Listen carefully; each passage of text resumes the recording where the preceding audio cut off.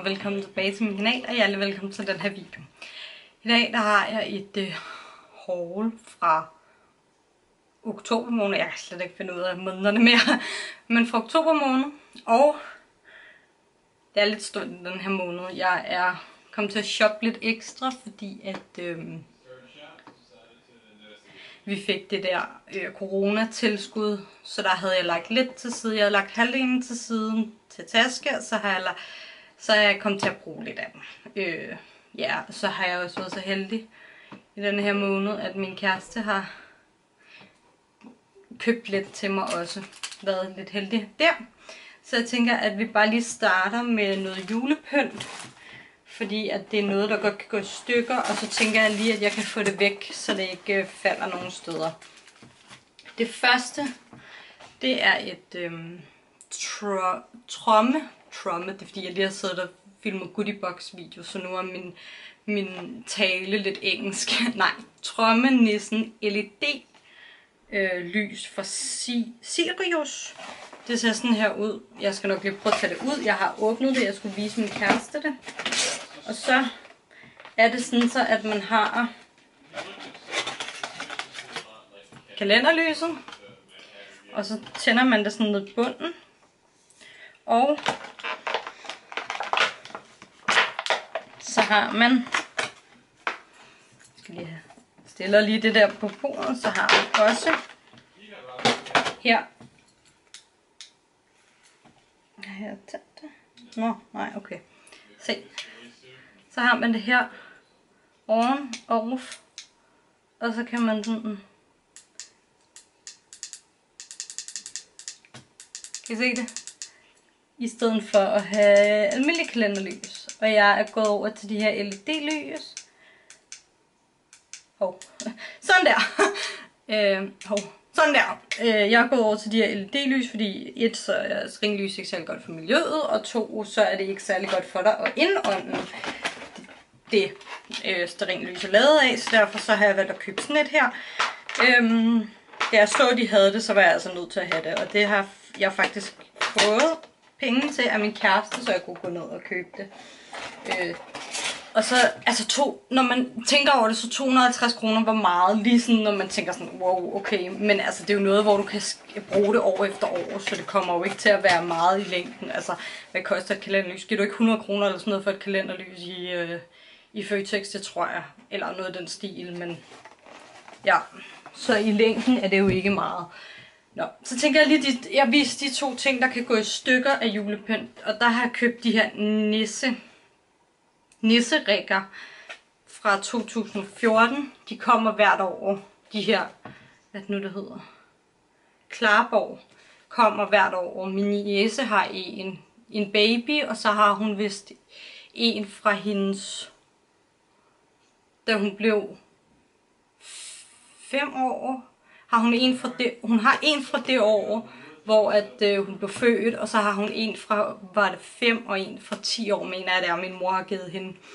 Øhm, jeg ved faktisk ikke, om det er det samme med min nevø, men jeg mener, det er sådan der, det hænger sammen, men ellers må I ikke hænge mig op på det. Men den, jeg har købt af 2014, det er det årstal, mig og min kæreste blev kærester. Jeg tænker, at jeg lige vil prøve at tage dem ud. De er jo ikke så store, så det kan jeg sagtens. Det her, det er så godt nok Øh, jeg skal lige have undersøgt det, fordi det her, det er sådan nogle, der skal hænge. Jeg tænker, jeg bare vil lægge dem i vores øhm, øh, øh, juledekoration. Men jeg mener nemlig også, der er sådan nogle lidt større nisser. Det skal jeg lige have undersøgt som fra det årstal, fordi dem vil jeg også gerne have. Det synes jeg også er lidt hyggeligt. Men dem tænker jeg lige, at jeg kan sætte på. Jeg synes, det er meget hyggeligt sådan noget. Sådan der, sådan, sådan, sådan der. Men jeg synes, det er meget hyggeligt, men jeg mener også, at man kan få dem i sådan nogle mat, der kan stå, og dem kunne jeg godt tænke mig også. Øh, jeg har så meget julepynt efterhånden, men øh, jeg håber da også snart, vi kommer ud i noget større, så vi ikke skal bo her mere. Og det andet, jeg har købt, er en julekop. Den var faktisk på tilbud. Jeg sparede ikke så meget på den, men altså, det var nok til, at jeg... Jeg troede faktisk, at den kostede 500, lige over 500, men det gjorde den ikke. Den kostede 400, og så var den sat ned til 410. Jeg kan ikke huske præcis, hvad det var, men så var den sat ned til 410. Og så var det, jeg købte de der nisser med, fordi så tænkte jeg, så sparede jeg egentlig ikke noget, men, men så kunne jeg købe de der nisser. Og jeg skal lige passe på, fordi det er, det er jo dyrt øh, for en kop. Det er Øh, Royal Copenhagens jul. Jeg har bare købt en enkelt, fordi det er bare mig, der drikker øh, varme drikker herhjemme. Øh, men ja, der var en kop og en underkop. Øhm, ja. Så den valgte jeg at købe, fordi så kunne jeg have sådan en julekop. Jeg har nemlig øh, to kopper fra, med det sorte musenmalet, fordi det er det, jeg øh, by, øh, Øh, samler på. Og så har jeg to. Øh, så har jeg været i normal og stok op på noget, og så kom jeg til at købe en eller anden ekstra ting. Jeg kom til at købe den her Nivea Formal Sink Mush Body Wash Raspberry and Perfit som er sådan en her. Jeg har prøvet den, de har. Der er mørkeblå, den der er lyseblå. Så tænkte jeg, da jeg så den her, at den skulle jeg også prøve. Den dufter. Altså, hvad jeg kan dufte herudefra. Nu vil jeg ikke prøve at sprøjte noget ud, men så dufter den sådan ret godt, og den skulle være ny. Den havde de normal. Så købte jeg nogle cotton pads, hvad de hedder på dansk. Hvad hedder de på dansk? Ikke vådservietter. Hvad hedder de på dansk? Jeg ved det ikke. Sådan nogle her. Øhm, jeg har købt to poser med store, og en med små. Øhm, og så købt stokket, det var noget jeg skulle stokke op på. Så noget andet jeg skulle stokke op på, Revolutions øh, Concealer, som er min tredje jeg er i gang med. Jeg har også haft den med i min skønhedsskraldspanden. Så var vi i Føtex og handle og sådan noget. Og der havde de den her knæk cancerblomst, som jeg fik af min kæreste. Den, hvad, den koster 25 kroner. Og de havde en i sort i år. Jeg har faktisk en i sølv og en i rose gold, mener jeg. Det er. Øh, så jeg tænkte, jeg skulle have en i sort også. Yes. Det der. Så har jeg været i Rituals af to omgange. Og første omgang... Nej, jeg starter lige med noget af det, der ligger heroppe. Øhm, jeg har købt noget garn i tre forskellige farver. Fordi jeg vil gerne øh, hækle nogle flere ud, og jeg har også noget garn derude. Øhm, Men vi går igennem mange af dem, fordi vi jo ikke har vaskemaskinen heroppe, så jeg vil strikke nogen, sådan så, eller hækle nogen, sådan så at, øh, at vi ikke skal vaske hele tiden. Og så var vi på lagersalg, i, eller ikke lagersalg, vi var på det der Ringsted Outlet, og der fik jeg to øh, bluser. Jeg har sådan en, sådan en her, den hænger lige her. Nå, sådan der. Der har jeg sådan en her. Og på billedet troede jeg faktisk, fordi hun har en undertrøje indenunder, så jeg troede faktisk ikke, at man skulle have... Altså, jeg troede ligesom, der var syet en undertrøje indenunder, men det var der ikke, som I kan se. Øhm, så derfor så fik jeg en i... Ja, den her mørkeblå. Ja, en i mørkeblå, og så en i hvid, jeg kan indenunder. Men jeg skal have i pieces og købe dem, de har derinde, fordi det er sådan noget rigtig undertrøje, der kan jeg også få dem i, øh, i hudfarvet og sådan noget, så ja. Det var lige, hvad der lå ovenpå. Så tænker jeg, at jeg kan lige tage det sidste, jeg købte, da vi var i Ringsted med min familie. Det var mig og min bror og min søster og min søsters unger og min, min mor og far. Det ved jeg ikke, om jeg lige fik set. Men der havde jeg den billigste tur i The Body Shop, som jeg nogensinde har haft. Jeg købte to håndcremer. De kostede 15 kroner hver. Jeg har den her Satamui, som er øh, appelsin, og så har jeg Argan Oil. Yes. Og jeg lægger lige dem ned i med det samme. Og så købte jeg det her sæt. Det stod til 100 kroner, og de to andre stod til, til 15 hver. Og så havde jeg to kuponer, jeg kunne bruge på 50 kroner, så jeg kom kun af med 30 kroner.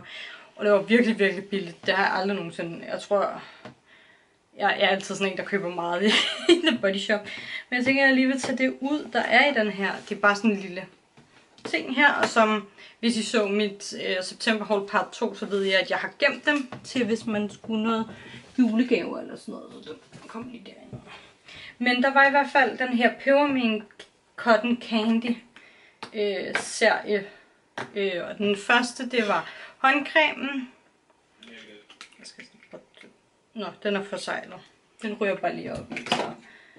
Øhm, så er der her The Body body butteren. Øh, jeg tror, jeg åbner shower gelen, fordi de andre, dem, der er en body scrub. Og så er der den her, og jeg skal lige prøve at dufte til den igen, fordi den dufter virkelig, virkelig godt. Mm, ja, den dufter helt af, af candy kin, ikke cotton candy. Cotton candy, det er, øh, det er noget andet. Øh, candy floss, men det her, øh, candy cane, det er det, det hedder. Sorry, hvis jeg kom til at sige noget andet. Men ja, det kommer lige derop. Øh, og så i starten af måneden var jeg i The Body Shop og i Rituals. Men jeg tænker, fordi jeg har været i Rituals af to omgange, så hvis jeg lige tager det sidste, The Body Shop, og så det der min kæreste købte i Føtex til os. Og så er der også noget MAC. Åh,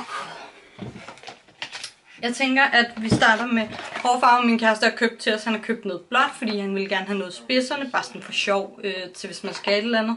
Og noget pink har han også købt. Øh, og så har jeg fået den her øh, lyserøde ting. Øh, men det skal bare herom. Altså.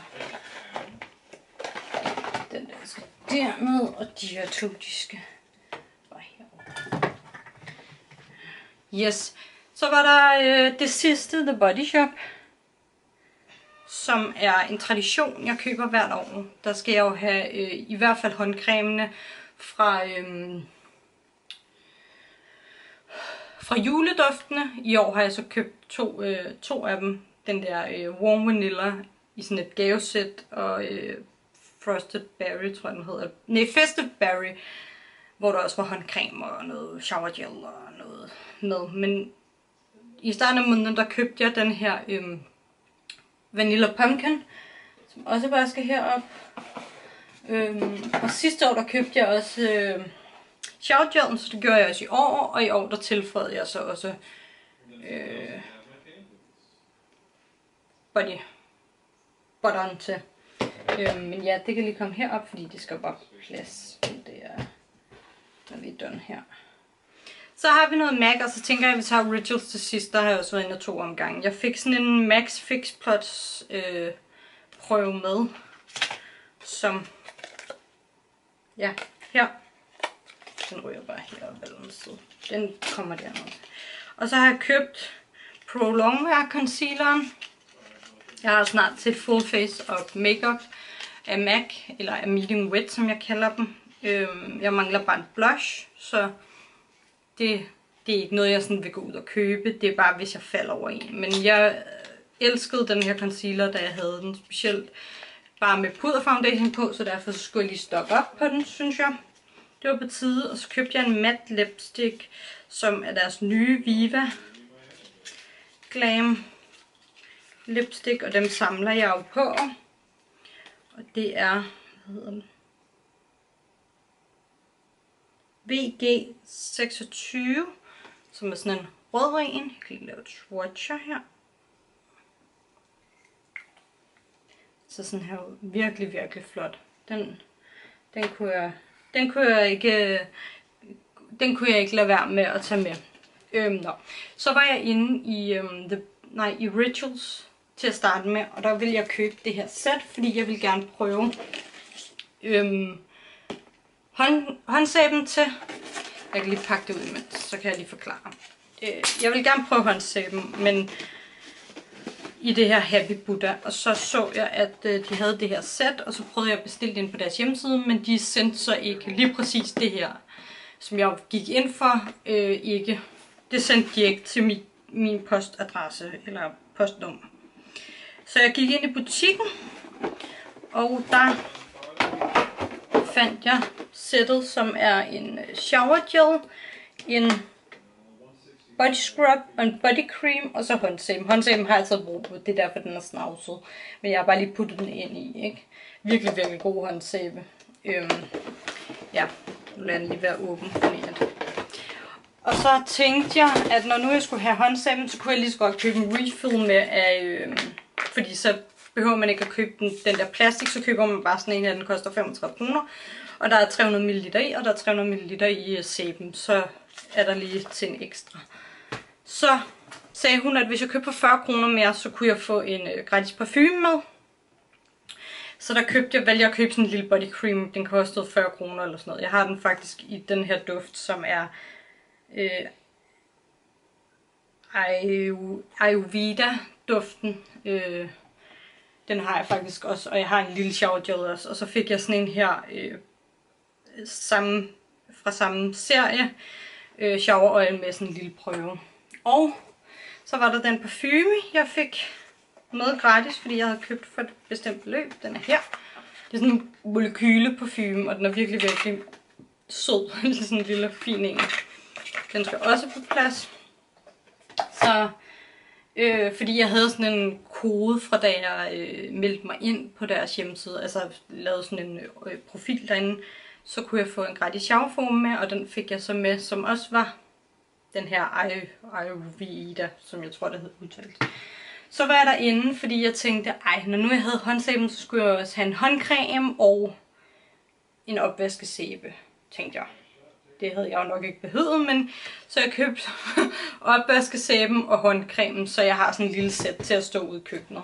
Og så kom jeg til at købe en, en øh, hvad hedder den nu?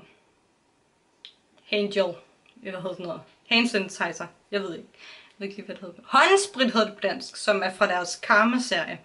Og den dufter virkelig, virkelig godt, og jeg ved ikke hvorfor. Det var bare fordi den var der, og jeg synes den var sød, og den duftede af Karma-serien, så... Ja, det var alt jeg havde for den her video, hvis I kunne tænke jer at følge med... Nej, det var alt jeg havde for den her video. Hvis I kunne lide den, må I meget gerne huske at give videoen en like og abonnere og kommentere på kanalen. Hvis I kunne tænke jer at følge med i Lydbæk-kameraet som i sociale medier, som altid beskrevet på beskrivelsen. Og ellers må jeg have det altid, hvis I skal. Hej.